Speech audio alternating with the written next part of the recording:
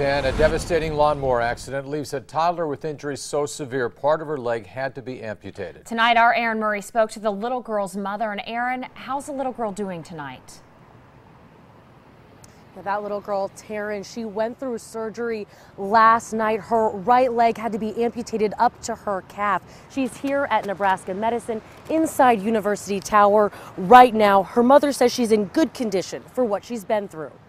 I got the call about 7 o'clock last night and. Sorry. Um, and her dad just told me that she had been in a bad accident and that um, I needed to meet him at UNMC. Two year old Taryn Rolfe has a long road ahead after falling under a riding lawnmower in Council Bluffs Tuesday evening. The little girl in the care of family friends when this happened. I guess she was riding a um, a little power wheel and fell off it.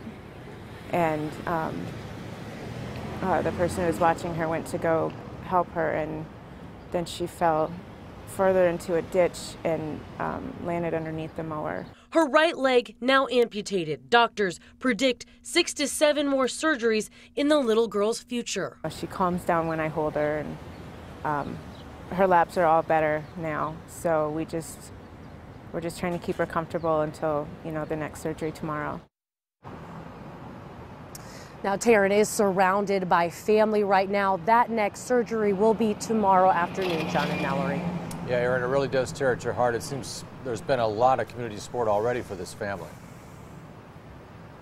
Definitely, her mother, Tanya, says her work and her friends have just been amazing through all of this. They've actually helped her set up this GoFundMe page already, which I put this on my Facebook for everyone to go look at.